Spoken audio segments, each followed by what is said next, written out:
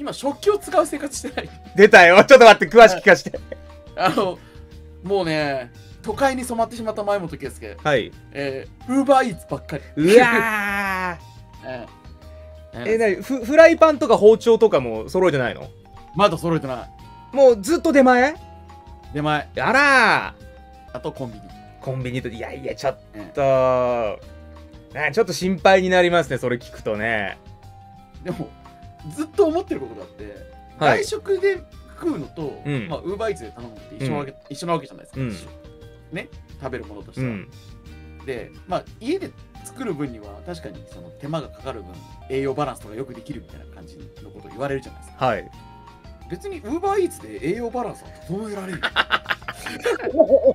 あー、これはやばいぞ。一品肉一品。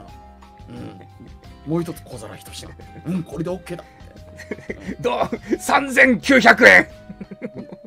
まあいいか。まあいいか。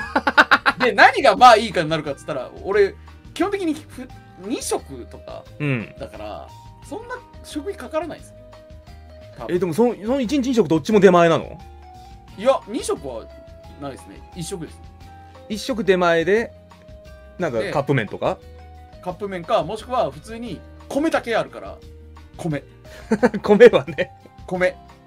米炊いて、シーチキン。とか生卵とか納豆とかで。そう。そう。はい。でせっかく冷蔵庫買ったのに、ほんと卵納豆しか入ってないの？卵納豆ビール。ビール？ワイン。ワイン？ううるせえよ。焼酎。日本酒。酒だけ充実してる。あらー、なんかちょっと心配ですよ。いや俺も心配なの 絶対なんかね、目に見えて顔に出るよ、多分そういうのって。え何？出前ばっかの時期って。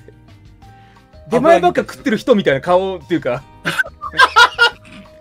結構ちょっとそれはね、心配になる時がある。マジで？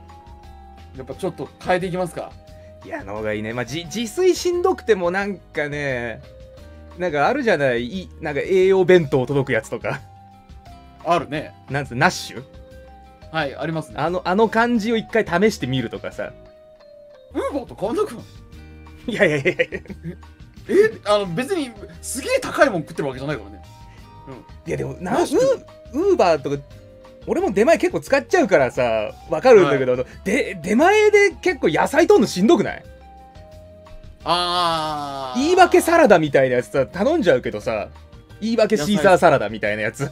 あるね。うん。やっぱ足りねえなとかどうしてもやっぱり揚げ物とかさあっちになっちゃわない？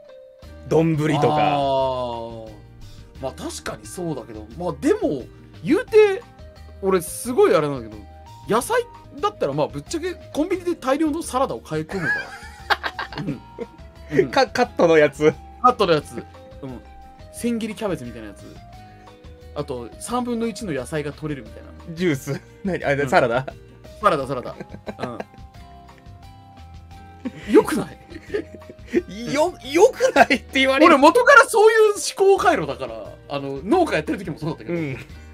農家やってても別に野菜は全て取れるわけじゃないと思ってるから別にサラダはサラダだしみたいな、うん、いや、なんか味噌汁作りとかハマってほしいな、でも。コンロ綺麗なままなのもったいないっすよ。ガスコンロがうね、ん。もうね大学とその大学卒業してから何年で自分でなんかね自炊をやりきってるねああ、なるほど。何年かで、うんむむしろ、そその、大学の時の方が野菜、あの、自炊やってたんだ。めっちゃやってたで、もう、ん大学時代やりき、全クリしたんだ。全クリしたのよ。もうあん時はもうだってちゃんといや一人暮らしだからこそちゃんとやらなきゃって言って若い見ながらもちゃんとやってたんです、ちゃんとやってたんです本当に。あの近くのスーパー。目の前スーパーだったからもううん。目の前のスーパーで買い込んで、いっぱい買って。一生懸命。でいやパスタ作るんだったらパスタと一緒に一品サラダをみたいな感じで。作ってたんです。疲れちゃったんだよどうでもよくなっちゃったんだ、もう。ね もう逆にもう大丈夫 いや大丈夫ではないのよ、何一つ。いやー、そ、それちょっともう一回復活させてくんねえかな。できてる？あなた。いやでもほんとほんとに鍋だよ俺は。だからもうあったかくなっちゃったからどうしようになってる。あとあのあー。とあととろろそばね。とろろそばだけ あのねとろろそばだけは絶対にねあの自前で作った方がうまいからねやっぱりねまあ間違いないです。それはとろろそばは絶対に自分でしっかり作った方がうまいのは間違いないですけど、ん。野菜は？どうしてるか？鍋オンリー？野菜はそうもうもう冬はほぼ白菜しか食わない暮らし。言うほど食ってねえじゃねえかよ。いやいや玉ねぎとかやるんだけどね。俺なんだろうね。あのさなんか人参食わねえから実感がないのよ野菜を食ってるっていう。ああはい。旅行食的なものね。絶対やっぱりさ、楽楽でうまいのはさニラじゃんうん。うんなんだろうあの、ニラニラだけ食っててもさ野菜食った感じしないのあれ何なんでしょうね。あのニラが強いからですね。野菜っぽくないからまだ俺もねあの人参とかねかぼちゃにはいけない。ああはいやっぱそれってなんかハードル高いんですよね。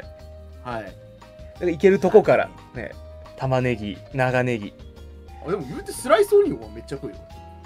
あ何？もうスラスライスしてあるやつ？そう。に醤油かけてあ醤油っていうかまあ鰹節と醤油。鰹節と醤油で。ええ。スピードメニューみたいな。そう。おつまみじゃんっていう。おつまみでもオニオン食ってるならよくないっていう。そういう考え方なんですけど、うん。これはもうもう語るだけもう沼っすねこれは。沼ですよね。ただただ心配され続けるだけの